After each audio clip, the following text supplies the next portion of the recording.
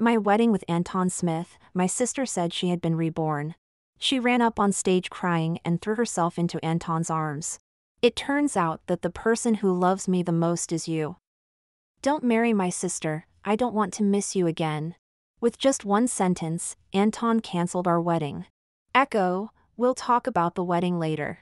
I took off my veil and placed it on my sister's head. There won't be a later for us.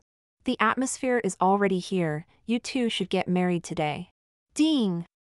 Wis Novel reminds you to click the subscribe button in the bottom right corner to read the complete novel. The wedding proceeded to the vow exchange, and the officiant asked Anton, Anton Smith, do you take Echo Fox to be your wife, to love her, to be faithful to her, in poverty and in sickness, until death do you part? Anton glanced at the crowd below, as if searching for someone. But he didn't seem to find them, I could see a hint of disappointment on his face.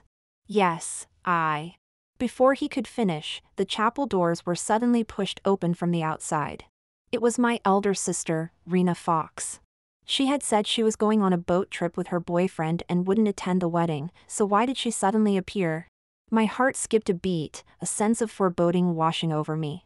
Rena was soaked from head to toe, looking pitifully at Anton, who was about to become my husband. I'm sorry, Anton, I'm late. In front of all the guests, she ran up on stage and threw herself into Anton's arms. Turns out you're the one who loves me the most in this world. I'm sorry, Anton, I realized it too late. Although Anton's expression was bewildered, his hands honestly embraced her. It was an instinctive action. I watched as his expression changed from confusion to surprise to secret joy. Finally, he gazed deeply into Rena's eyes. I started to believe Rena's words. It turned out that the man I had been in love with for six years had always loved my sister. They embraced obliviously, their emotions running deep, and as their lips drew closer, preparing to kiss. I coughed to interrupt them, Anton, are we still getting married? Rena seemed to notice me in the wedding dress for the first time. Don't marry my sister, okay? I've already missed you once, Anton, I don't want to miss you again. She started crying, looking so pitiful that it tugged at my heartstrings. I had meticulously prepared for this wedding for a year, and to stand beside him in a wedding dress, I had started working out and dieting six months in advance. In my heart, I begged Anton not to embarrass me at this moment, but after a moment of hesitation, he still chose to cancel the wedding. Echo, Rena is not in a good state right now. Can we postpone the wedding? What does her state have to do with our wedding? But I wouldn't ask him that. At that moment, it felt like something inside me was suddenly released. I took off the pure white veil and placed it on Rena. No need to postpone the wedding. The atmosphere is already here, why don't you two get married today? I'll make room for you. It's your wedding now. After I left, the wedding was cancelled. When they got home, Dad glared at me and went to the balcony to smoke. Mom pointed at my head and scolded me. Do you have any manners? There were so many guests, and you just left like that. How are your dad and I supposed to face people after this? The one who ruined my wedding was clearly my sister, Rena Fox, yet she didn't have to face any blame. Since coming back, she had been lounging on the couch playing with her phone, her lips curved in a bright and smug smile. I guessed she must be chatting with Anton. I left the wedding decisively, but that didn't mean I wasn't upset. Along with their attitudes, I felt even more aggrieved. This was the first time I had ever talked back. Rena said she and Anton are true love. You and Dad have always taught me to yield to her. How could I dare compete with her for someone she likes? Rena finally shifted her attention from her phone to my face. Are you blaming me? I smiled, Rena, you misunderstood. Rena rolled her eyes at me and continued lying back on the couch. If Anton loves me, what can I do? It's your own fault for being useless. Yes, it's my own fault for being useless. But that doesn't justify her ruining her own sister's wedding, right? What happened today was beyond my expectations. Rena, who always looked down on Anton, suddenly claimed they were true love. And she kept saying she was reborn.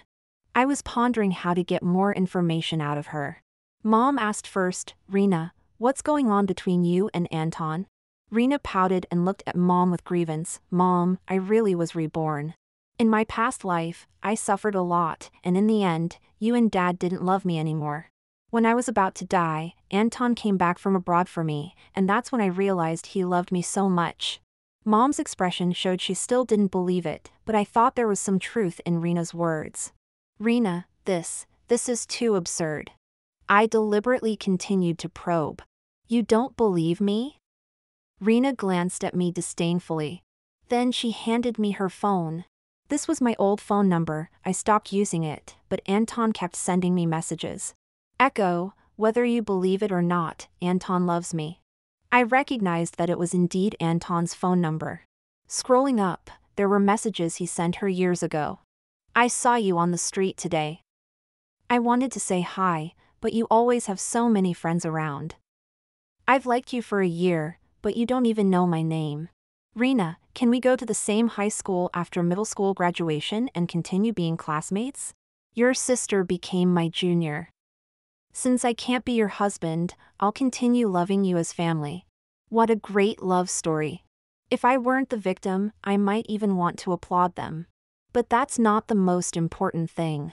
The most important thing is that Anton shouldn't have been in the same middle school as Rena. He clearly told me he attended middle school at the affiliated school. When I came out to use the bathroom in the middle of the night, the light in Rena's room next door was still on. The door wasn't fully closed, and the light squeezed through the gap, falling onto my feet. I was about to leave when I suddenly heard my mother's voice coming from her room. Rena, if Ken finds out about your tantrum today, what will happen? The Ken my mother mentioned is my sister's current boyfriend, Ken Webern. The Webern family is very wealthy, and my parents have always been very satisfied with this future son in law.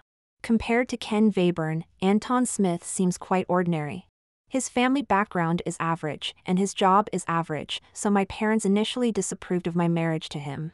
It was only after my persistent insistence that they eventually chose to compromise.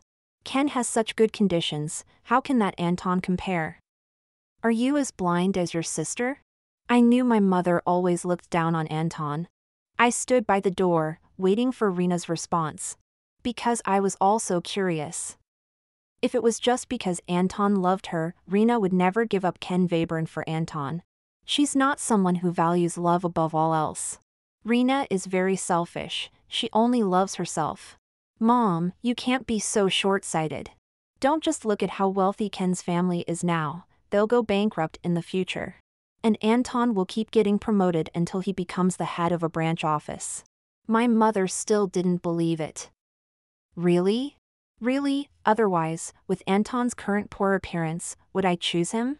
Don't be fooled by how he looks now. He's actually very talented. His boss has been promoting him all the way because his proposals are so well written.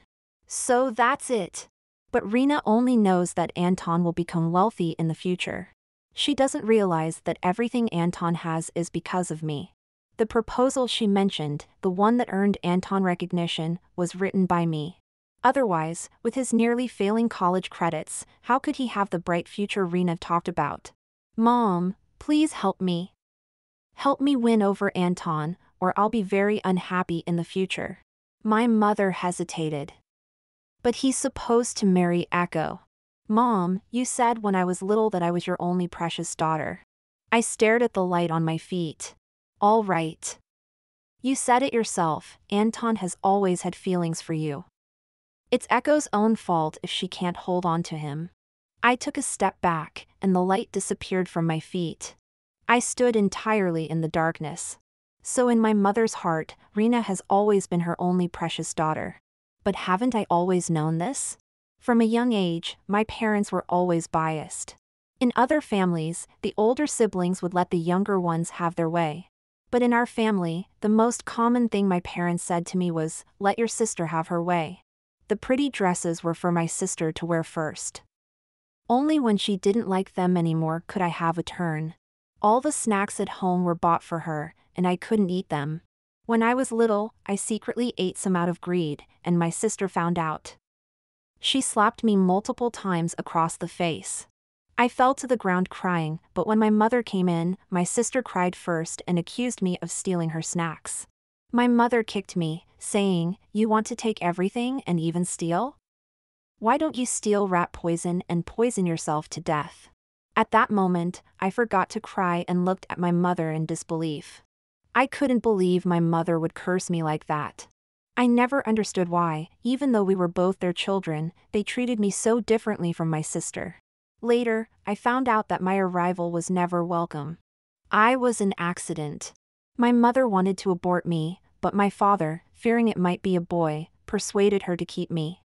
They had a big fight about it. It was my sister who said she wanted a little brother to play with, and that's why my mother agreed to give birth to me. But my birth disappointed everyone. I was a girl. Not the son my father hoped for, nor the brother my sister wanted. So my name is Echo, meaning repeat, extra. Even though I always knew deep down that I wasn't loved, hearing it now still hurt. Before, I could find some excuses to comfort myself. Now, I can only accept that I am indeed an unwanted child. Hearing footsteps, I knew my mother was coming out. I hurriedly wiped away my tears and turned to hide in my room. My mother paused in front of my door for a moment and then complained softly. If I hadn't given birth to Echo, wouldn't we have avoided so many troubles? I took a week off for the wedding. Early in the morning, my mom woke me up to help her make breakfast. Young people shouldn't sleep so much. Hurry up and wash the vegetables. But Rena was still sleeping. The doorbell suddenly rang, and it was Anton Smith and his parents. After hearing what Rena said last night, whether my mom believed it or not, her attitude towards Anton had significantly improved. She thought they were here to see Rena, so she quickly went to call her. Unexpectedly, Anton's mom said, Dear in law, we are here to apologize to Echo. Echo? My mom glanced at Anton awkwardly. Rena had already come out of her room, and mother and daughter exchanged a look. Anton's mom acted as if she didn't see Rena and came over to hold my hand. Echo, it's Anton's fault. He was immature. Last night, we already talked to him. Can you, for the sake of your many years together and for my sake, forgive him this time? We'll hold a new wedding. His dad and I have discussed it, and we'll pay for a more grand wedding.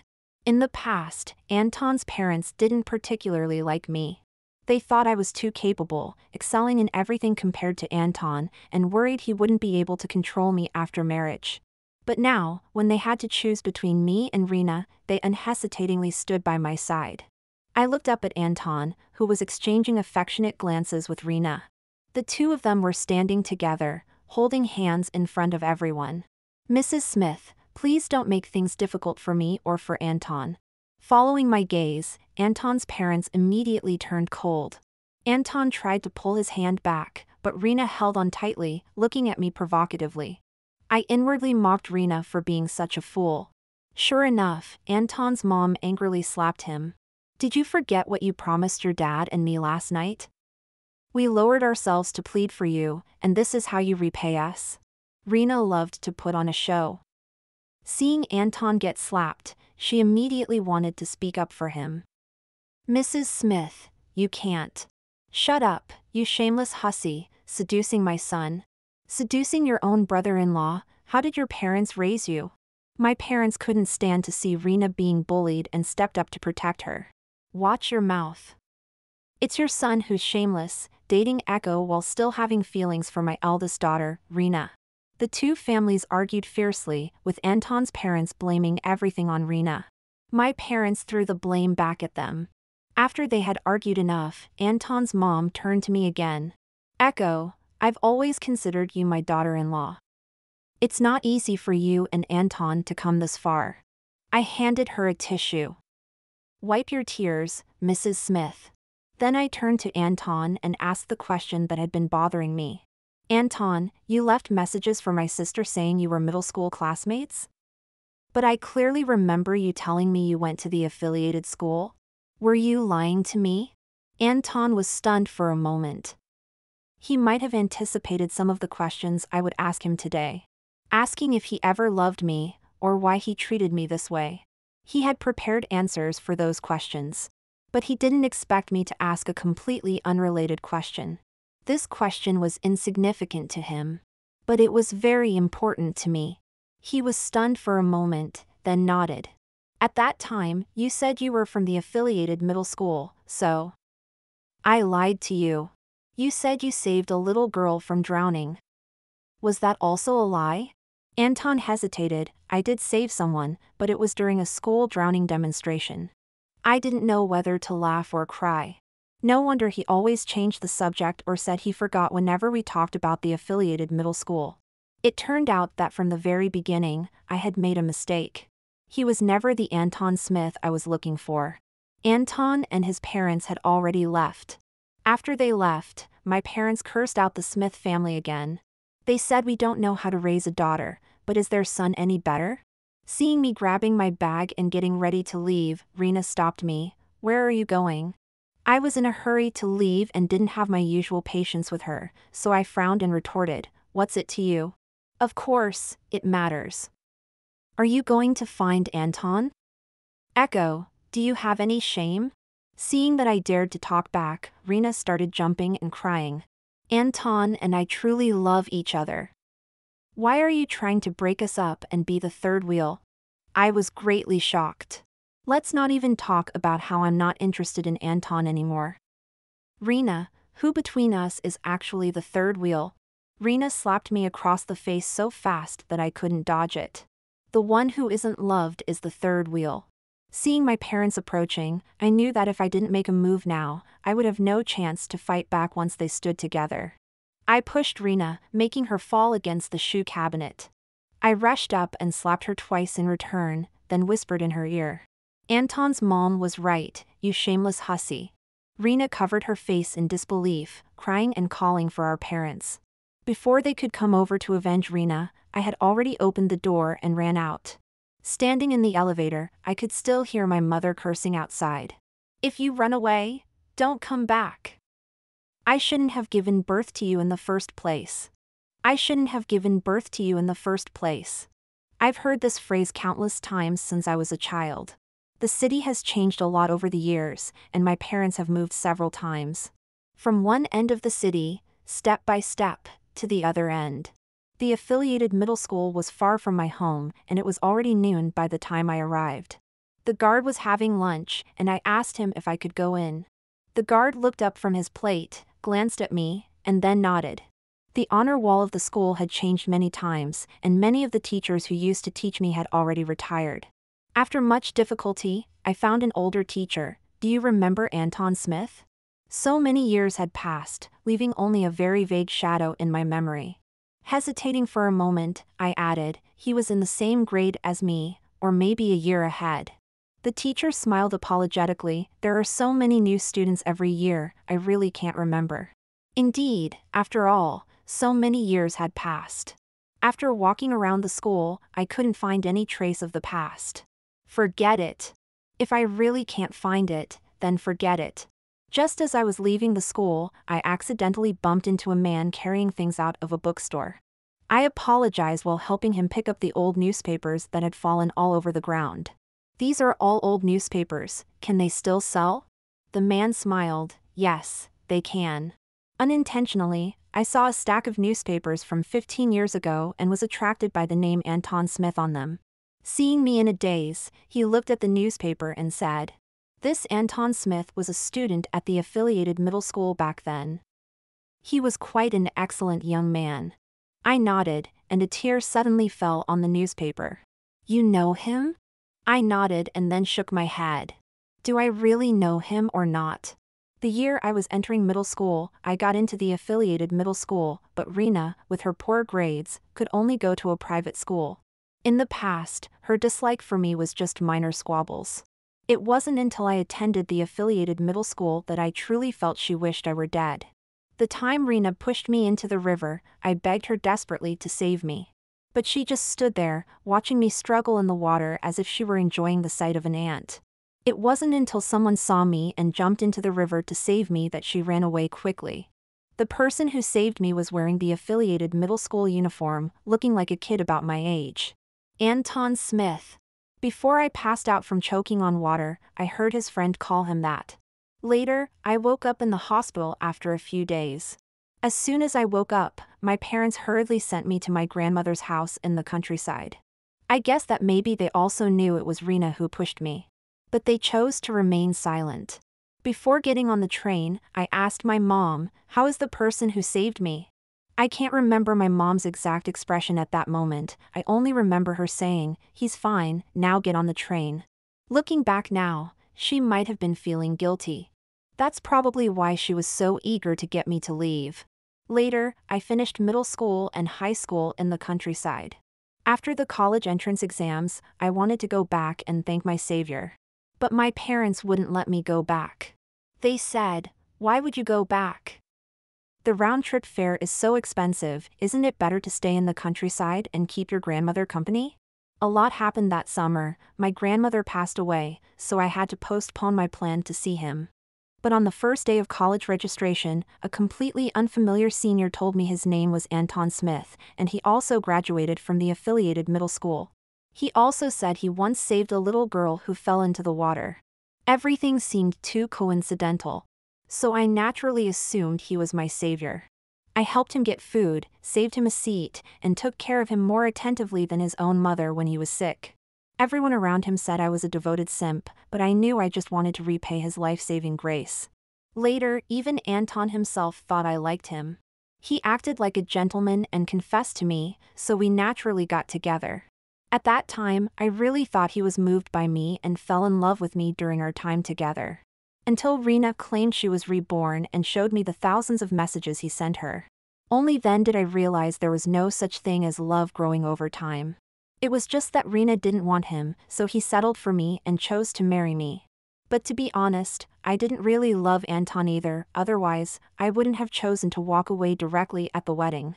I knew he was weak willed and lacked ability. Even the proposal he submitted to get a permanent position at the company was done by me. All these years, I've been helping him, making him appear capable in the eyes of the leadership. It seemed like the only reason I could continue to endure being with him was that he was my savior. So after knowing that he loved Rena, I could so easily and comfortably give him up. I looked at the newspaper I got from that man. The boy in the photo was only 14, smiling shyly, with the corners of his mouth slightly raised. I thought he would have grown up to be an excellent person. But unfortunately, to save me, little Anton would forever remain 14. I read the words praising him over and over again selfless little hero Anton Smith.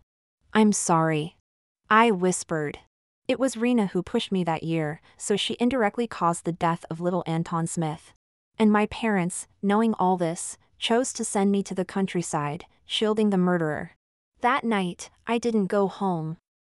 Anyway, even if I did, they wouldn't let me in. Just as I found a hotel, Rena sent me a message. I opened it. It was a photo. To be precise, it was a photo of Rena and Anton in bed. I glanced at it, turned off my phone, and started washing up. Seeing that I didn't react, Rena called me directly.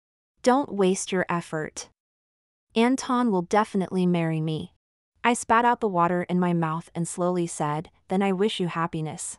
To be honest, I'm really grateful to her. If it weren't for her, I might never have known that I had mistaken the wrong person. But Rena thought I was being sarcastic. Echo, Stop being sarcastic.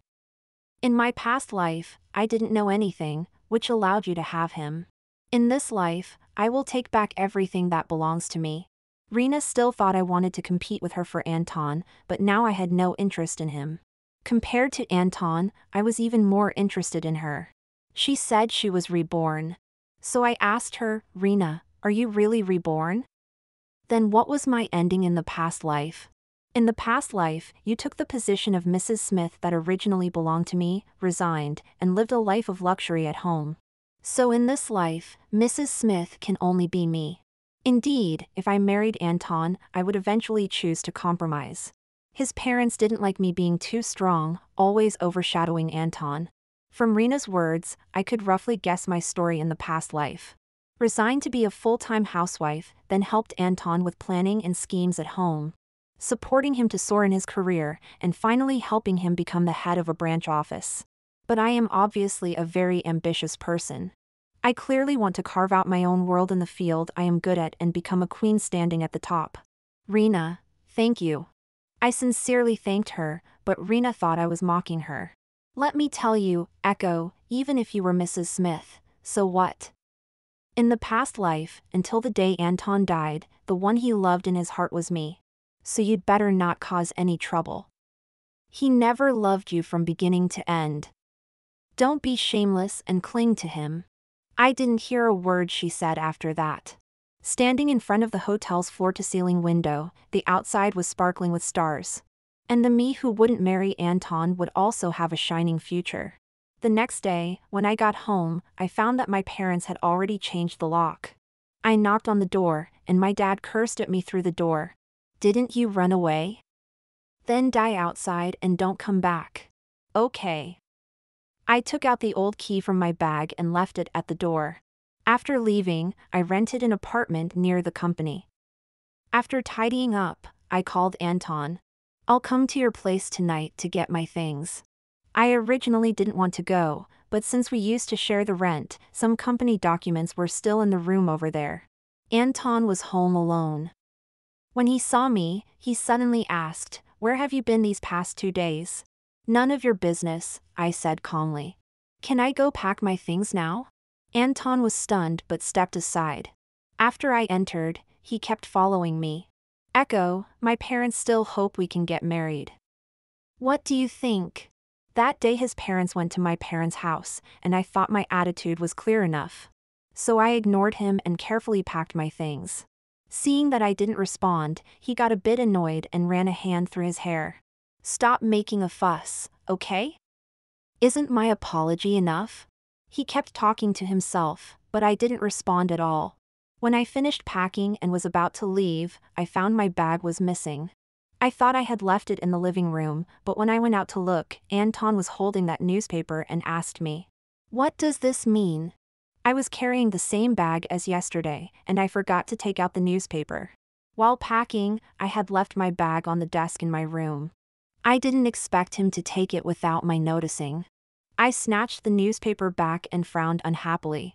Didn't your mom teach you not to touch other people's things? My attitude might have angered him. Anton loudly asked again, Echo Fox, what the hell does this mean? It means nothing. I used to think you were him, but I mistook the person. After saying that, I tried to leave, but Anton blocked the door. Mistook the person? So what am I? Echo, what do you take me for? A substitute? Did you ever love me? It's strange. He used to be like this too, emotionally unstable. But I always tolerated it. Now, I just found him very annoying, extremely repulsive. I even looked him up and down, but I couldn't find a single good point about him. Consider yourself lucky to have the same name and surname as him. Otherwise, do you think I would have given you a second glance? Get out of the way, don't block the road. The photo Rena sent me of her in bed, I forwarded it to her ex boyfriend, Ken Webern. She brought this upon herself. When Ken confronted us at home, I found out she was still with her ex while sleeping with Anton. What I thought was a minor emotional squabble turned into Ken making a huge scene at our house. Now the entire neighborhood knows that Rena is two timing, sleeping with multiple men. Rena, haven't I been good enough to you? I give you so much spending money every month, and you use my money to keep a gigolo? Ken tried to rush at Rena, but my dad stopped him. During their scuffle, seeing my dad was old, Ken didn't dare to really fight. But my dad, with a burst of strength, pushed him to the ground hard. Someone in the crowd suddenly shouted, The police are here. Rena took one look outside, then suddenly pulled my dad to the ground, crying out, Ouch, ouch. Officer, he hit someone, Rena pointed at Ken, accusing him first. My dad cooperatively lay on the ground, sometimes saying he hit his head, other times saying he broke his back. I smiled and said nothing. Rena is convinced Anton will become very successful in the future. But right now he's just an ordinary employee who can't afford the high expenses Ken used to cover for her. So now that everything's out in the open, she plans to extort him for more money. I looked up at the hallway, confirming there were no cameras. Ken was now in a tough spot with no way to clear his name. I need to go to the hospital, take me to the hospital, I can't take it anymore. My mom also came out crying, saying Ken hit someone. The three of them were putting on a show, and it looked like the police were about to take Ken away. I suddenly spoke up. He didn't hit anyone, I have the whole thing on video. The three of them immediately fell silent. My mom was the first to recognize me in the crowd. Echo? Why are you back? We've already cut ties with you. Rena looked at me but said nothing. I just squeezed through the crowd, smiling as I handed my phone to the police. Actually, I don't know Ken Webern well. I didn't do this to help him, just to thwart Rena.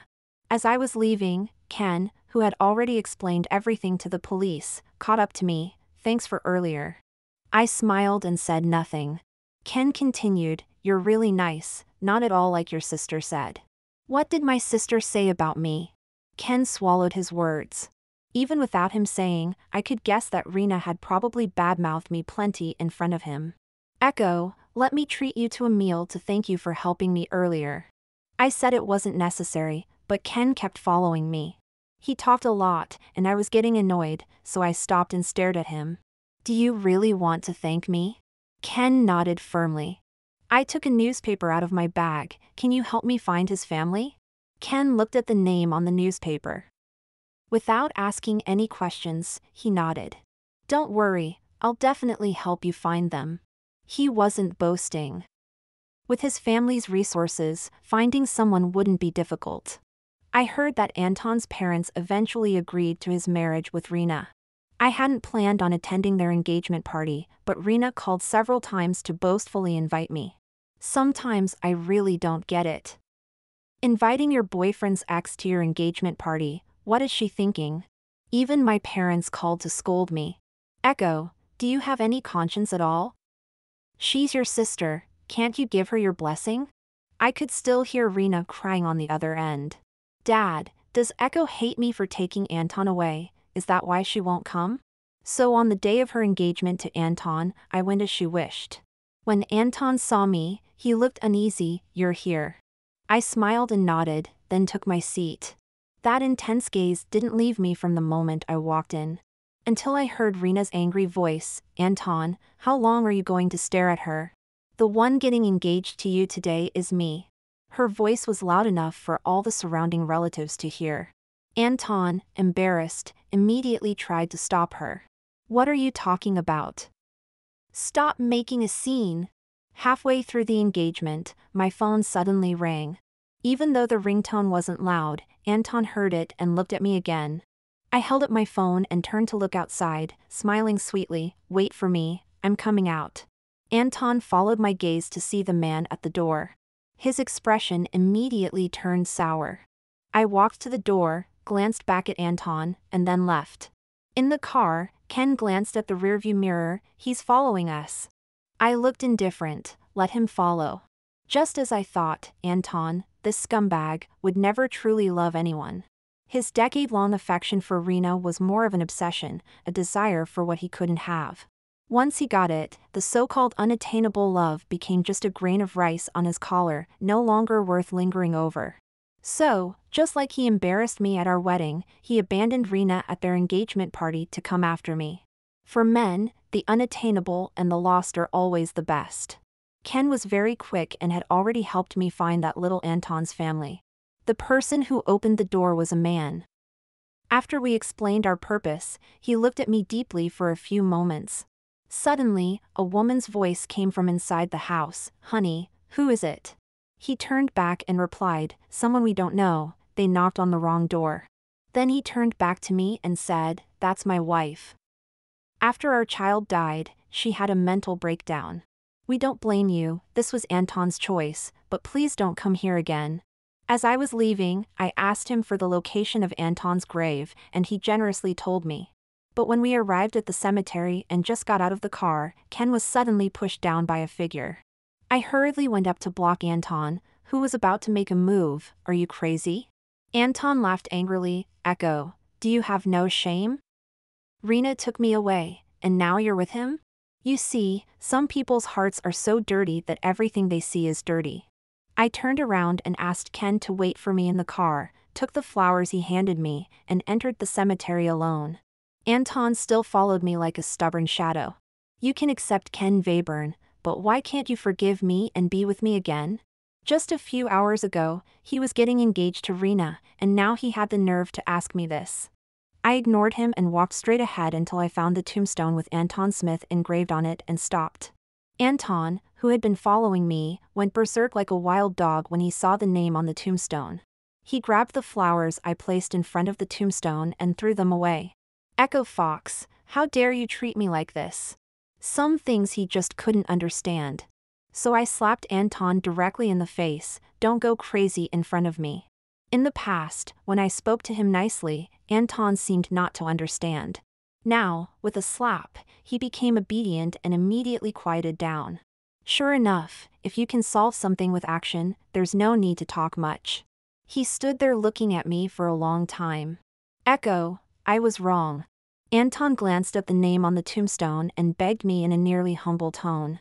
Forgive me, and I'll forget about him. He pointed at the tombstone. Can we start over? I looked at him like he was trash and coldly refused, no. Echo, don't be like this. We've had so many years together. I don't believe you never loved me. You used to, you clearly loved me very much. His tone even carried a trace of grievance. But what exactly was he feeling aggrieved about? After so many years together, didn't our relationship fall apart because of one word from Rena at the wedding? Can you get lost? Don't disgust me. After leaving the cemetery that day, I didn't see Anton for a long time. I just heard that Rena was pregnant and was demanding to marry Anton, but this time Anton was unwilling. Recently, our company had a collaboration with Ken's family company. After finishing the business, we ran into Anton as we left. He was in a bad state, thin as a skeleton just out of a coffin, with a ghastly pale face and a miserable look. Ken and I pretended not to see him and were about to leave when Anton suddenly rushed over. He looked at me, then at Ken. Why are you two together again? Ken pushed him away, what's it to you? This scene was just seen by Rena, who came looking for Anton. She ran over to protect him. Ken Webern, I told you we broke up. Stop pestering me. Ken and I exchanged a glance, both feeling that these two were out of their minds. Rena was carrying baby supplies, I guessed Anton was out shopping with her. Let's go. Just as we were about to leave, Anton pushed Rena away and clung to me persistently. Echo, can we start over? Give me another chance, please. His face, thin to the point of distortion, was covered in tears, making him look very unpleasant. Rena dropped her things and started pulling the kneeling and begging Anton while screaming. Now it wasn't just bad luck, it was also very embarrassing. When she suddenly rushed at me, I hadn't reacted yet, but fortunately, Ken stopped her. Rena, with her slightly bulging belly, went crazy on the street. Echo, you shameless mistress, seducing my fiance, seducing your brother-in-law, you witch. She cursed viciously, her description extremely crazy. I didn't understand how the once beauty-loving and face-conscious Rena could have become like this. I slapped her face, and seeing she was about to continue spewing filth, I slapped her again. Are you clear-headed now? If not, I'll continue. She wanted to fight back but was held down by Ken and could only be obediently slapped by me. Echo, I won't let you go. I raised an eyebrow, still not clear-headed? I slapped her again on the face. And Anton didn't defend her from beginning to end. After the meeting, I came out to find dozens of missed calls on my phone. I checked, and they were all from my parents.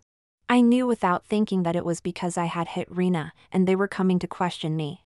During the meeting, the boss asked me to prepare to go abroad for the overseas market, and I had already agreed. I don't plan to come back in the future, and I won't have much contact with them. Thinking this, I opened the family group chat. There were hundreds of voice messages, almost all cursing me. In the end, both of them said they wanted to cut ties with me. Ungrateful wretch, from now on, we'll consider you dead out there. Today you dare to hit your sister, tomorrow you'll dare to hit us. We don't want a daughter like you. I curved my lips into a smile and turned off the phone screen. On the day I was preparing to leave, Ken personally drove me to the airport. Halfway there, someone suddenly blocked the car. It was Anton. Luckily, Ken braked quickly, or else he would have been dead here today. Ken got out of the car and grabbed Anton by the neck like a chick, throwing him to the side of the road. If you want to die, don't drag me into it. But Anton's eyes were fixed on me in the car. He appeared so coincidentally, he must have been waiting here in advance. Get lost, don't dirty my new car. Ken tossed him aside, but Anton got up again and blocked the car. His purpose was pure, just wanting to see me. I glanced at the time, not wanting to waste it on him. I got out and stood in front of him, accidentally stepping on Anton's fingers, then stepped back. If you have something to say, say it quickly and then get lost. Anton was in worse shape than before, his voice hoarse, please don't go, don't leave me. Finished? I asked impatiently, can you move now? As I turned to get back in the car, Anton suddenly rushed to the guardrail. Below the guardrail was a rushing river. Echo, I'm begging you, don't go, I was wrong, I was really wrong. He threatened me, if you leave with him, I'll jump down from here. Idiot. I laughed angrily and pulled out my phone to call the police. When the police arrived, I explained the situation and then got back in the car. In the rearview mirror, Anton watched my departing figure with despair in his eyes. Ken glanced at the rearview mirror, his face cold, he really jumped down. I looked away indifferently, with the police there, he won't die. Ignore him. Before boarding, Ken stopped me. Echo, if I pursued you, would you accept? After spending these days together, I had to admit that Ken was not the playboy wastrel Rena had described. We had become good friends. But it could only stay at the level of friendship. Since I was a child, I wore clothes that my sister didn't want, and the snacks were only given to me after she didn't want them. It's like I was always picking up her leftovers. I, Echo Fox, only deserved things she didn't want. Now I can finally get rid of her. So, do you understand? I believed Ken could understand. By the way, I suddenly remembered Rena saying his family would go bankrupt. Be careful with your family's business recently, be cautious. My career abroad was going smoothly, and on the day I became the general manager of the overseas branch, Ken specifically called to congratulate me. From now on, I should call you President Fox. Don't be so formal. I laughed. Last time you mentioned your company was in trouble, how is it now? Is it resolved? Ken hummed in acknowledgement. Thanks to your reminder and the connections you helped me make to solve the funding problem. At the end of the conversation, Ken suddenly asked me, Do you hate your family? I didn't answer whether I hated them or not, I just casually said. I believe in karma, good people will be rewarded, and bad people will definitely go to hell. I don't know if they'll go to hell, but your family is certainly like hell now. Ken told me that Rena's belly was getting bigger, but Anton still refused to marry her. He said he regretted it and wanted to wait for me to return. Later, Rena wanted to abort the child, but it was too late in the pregnancy, so she had to keep it. You don't know, she even came to me to reconcile. I had guessed it, after all, Ken's family didn't go bankrupt as she had said. Did you agree? Are you kidding? Am I that cheap? Rena threatened with two lives, and Anton finally agreed to marry her. With such a big belly, she still wanted a wedding. Rena is really crazy. As long as she doesn't mind the embarrassment. After a few days, Ken told me again Anton Smith died on the wedding day. I raised an eyebrow but didn't care much. I didn't even ask how he died. After Rena found out, she went completely mad, laughing and crying at the wedding, saying she was the president's wife.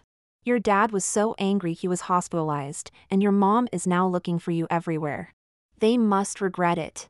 I didn't expect this day to come so quickly. But when I heard these words, I didn't feel any satisfaction, rather, I felt indifferent, as if I were listening to someone else's story. Oh. I responded faintly. I'll be returning home in a while. Ken's voice changed with surprise. Are you going to deal with them? No. I resigned, planning to start my own business. Working for others is not as good as being your own boss. He advised me, Your connections are all over there, wouldn't it be better to start a business there? Outside the floor to ceiling window was the steel jungle of a prosperous city, and I had already carved out my own territory in this forest. I'll start the business here, just going back to handle some things. There was a moment of silence on the other end of the phone. But when he spoke again, his voice still couldn't hide the disappointment. Well, I smiled and didn't take it to heart.